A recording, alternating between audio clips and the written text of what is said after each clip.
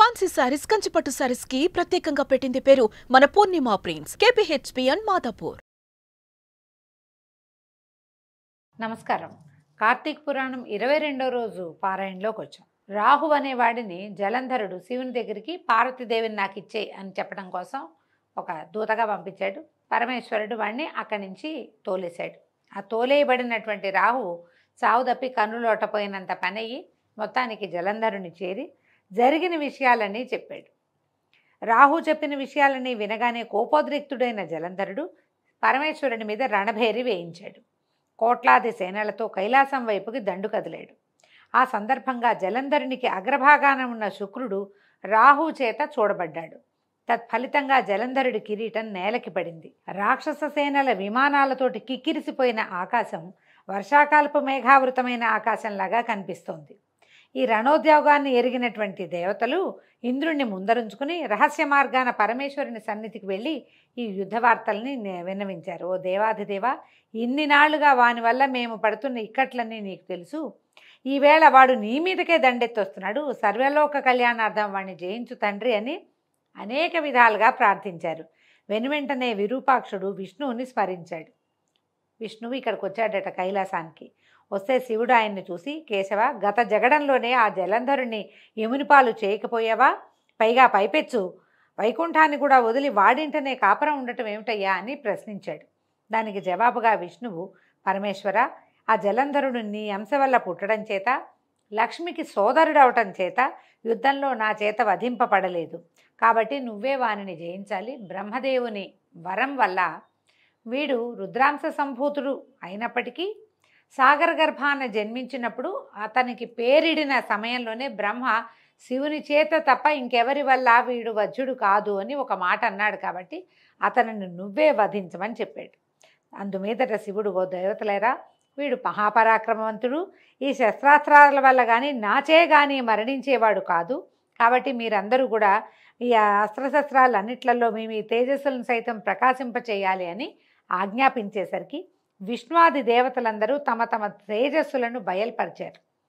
గుట్టగా ఏర్పడిన ఆ తేజస్సులో పరమేశ్వరుడు తన తేజాన్ని కలిపి మహోత్తమము భీషణ జ్వాలాస్యము వేగ సంపన్నము అత్యంత భయంకరము అయినటువంటి సుదర్శనం అనే చక్రాన్ని నిర్మించాడు. ఇప్పుడు సుదర్శన చక్రానికి అంత బలం ఎందుకు అంటే ఇట్లా ఇన్ని విధాల బలాలు కలిసి ఉన్నది. తర్వాత ఈ జ్వా వధ అనంతరము దాన్ని విష్ణువుకే సమర్పించేశారు. అప్పటికే ఒక కోటి ఏనుగులు ఒక కోటి గుర్రాలు ఒక కోటి కాల్బలగము. కైలాస భీము వాటితోటి కైలాస భూములకు చేరినటువంటి జలంధరుణ్ణి దేవతలు ప్రమథగణాలు ఒక్కుమ్ముడిగా ఎదుర్కొన్నాయి. నందీశ్వర విఘ్నేశ్వర సుబ్రహ్మణ్యేశ్వరాదులు కూడా తమ తమ గణాలతోటి జలంధర్ని మూర్కొన్నారు. రెండు తెగల మధ్య భయంకరమైన సంకుల సమరం కొనసాగింది. ఇరుపక్షాల నుంచి వచ్చేటువంటి వీరరస ప్రేరకాలైన భేరీ మృదంగ శంఖాది ధ్వనులతోనూ రథనేమి ధ్వనులతోనూ గజ గీంకారాలతోనూ భూమి విపరీతమైన ధ్వనులతో ప్రకంపిస్తుంది. పరస్పర ప్రయోజితాలైన శూల పట్టిస తోమర బాణ శక్తిగదాధ్యాయుధ భరితమైన ఆకాశం పగలే చుక్కలు పొడిచినట్టుగా ఉంది. యుద్ధభూమిలో నేలకూలిన రథ గజాదుల కళేబరాలు రెక్కలు తెగిన పర్వతాల్లాగా గుట్టలుగా పడి ఉన్నాయి. ఈ మహారణంలో ప్రమథల బాణాలతోటి పడిపోయినటువంటి దైత్యుల్ని దానవుల్ని రాక్షసుల్ని ఆ గణాలన్నింటినీ కూడా శుక్రుడు మృత సంజీవిని విద్యతోటి పునర్జీవితుల్ని చేయటం మొదలుపెట్టాడు. ఆ సంగతి పరమేశ్వరుని చెవినబడితే ఆ తక్షణమే ఆయన ముఖం నుంచి కృత్య అనే ఒక మహాశక్తి ఆవిర్భవించింది. ఇదే కృత్యం మనం దూర్వాసుడు సృష్టించాడని చెప్తామంటే ఆ కృత్య వేరు ఈ కృత్య వేరు. అయితే ఇదేం చేస్తుందట?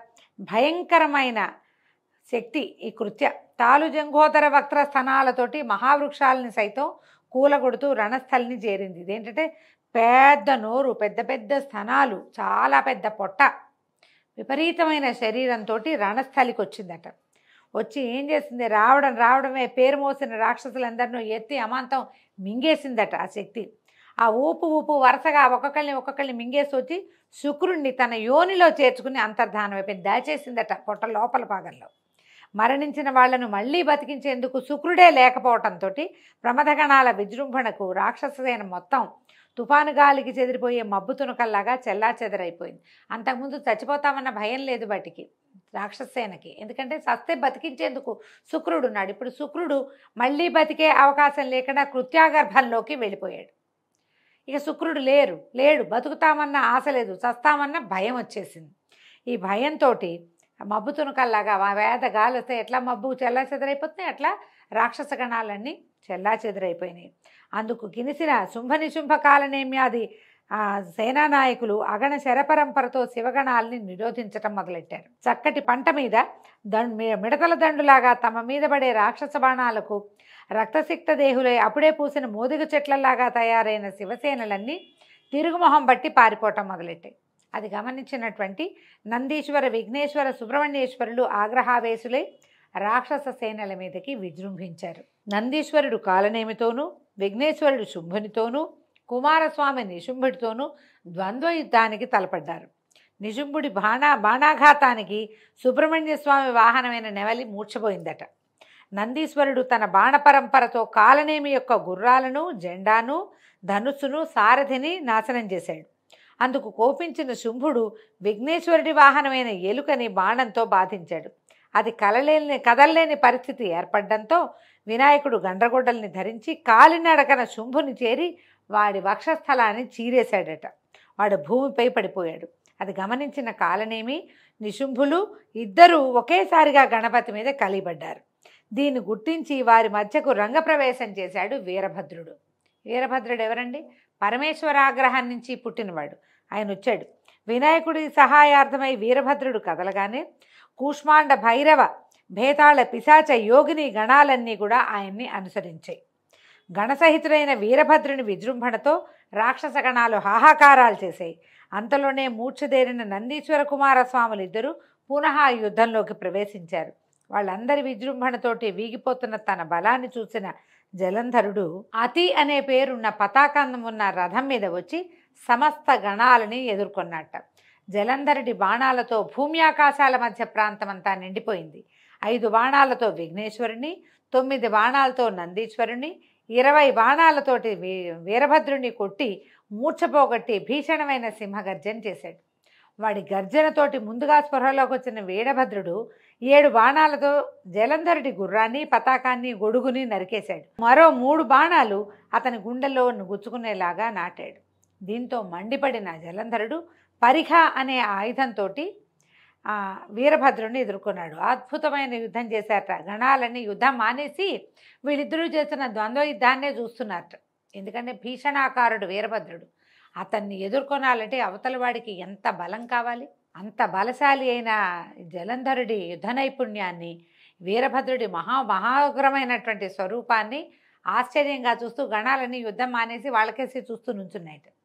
అనంతరం ఏం చేశాడట? మళ్ళీ వీ- జలంధరుడు పరిఘాయుధాన్ని వీరభద్రుడి తల మీద ప్రయోగించాట తలకి దెబ్బ తగిలిన వీరభద్రుడు స్పృహ తప్పి పడిపోయాట చివరికి దేవతలందరూ ప్రార్థించారయ్యా అందరూ పడిపోయారు. నీ కుమారులు స్పృహ తప్పి మళ్ళీ లేచారు.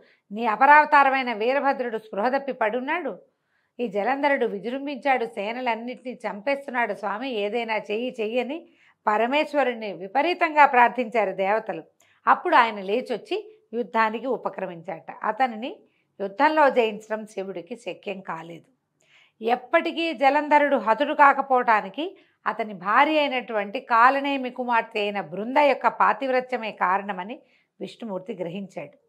ఆమె ముందు విష్ణుమాయని ప్రయోగించడానికి బయలుదేరాడు. అయితే అక్కడ ఏం జరిగిందట?